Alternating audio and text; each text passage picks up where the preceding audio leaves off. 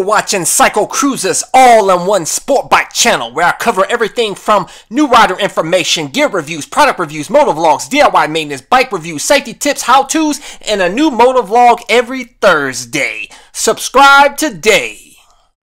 Before you do a video request, you might want to check out my website at cyclecruza.com and check out my video library and playlists. You may find the video that you're looking for. Just click on the My Videos tab. To see my full review on the Perrini Armor Jacket, please click on the link in the info section of this video.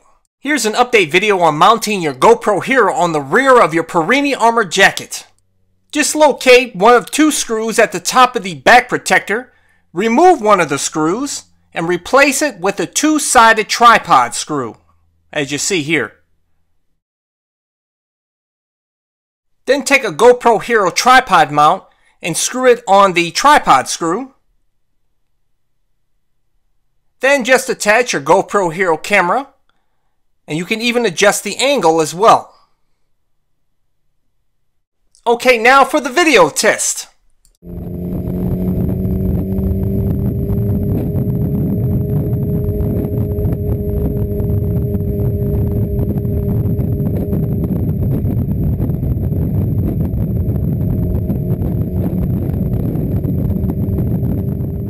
By the way, you can mount up to two cameras on the front of this jacket as well.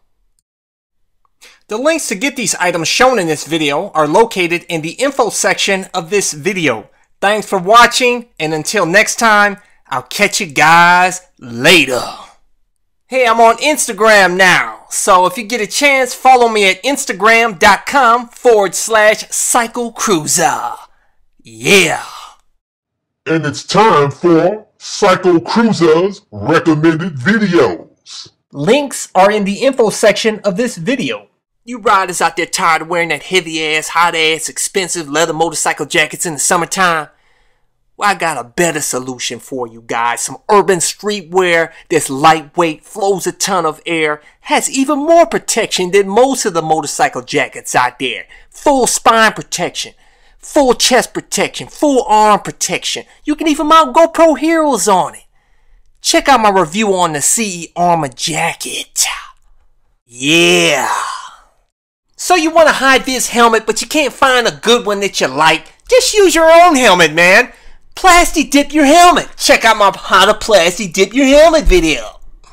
Wouldn't you love to ride around on your motorcycle with a nice, comfortable hoodie, but yet still have the CE approved armor protection? Well, hey guys, I have the solution for you. Check out part one of my armored hoodie review. High vis is the way to go, baby. So check out my Scorpion EXO 500 Neon Oil helmet review. Your CycleCruza sport bike themed apparel at cyclecruza.com. CycleCruza.com. If you get a chance, check out my other channel, CycleCruza Moto Vlogs, where I discuss anything and everything, not just motorcycle shit. If you get a chance, like me at facebook.com forward slash cyclecruza1 for new updates and to browse my video library.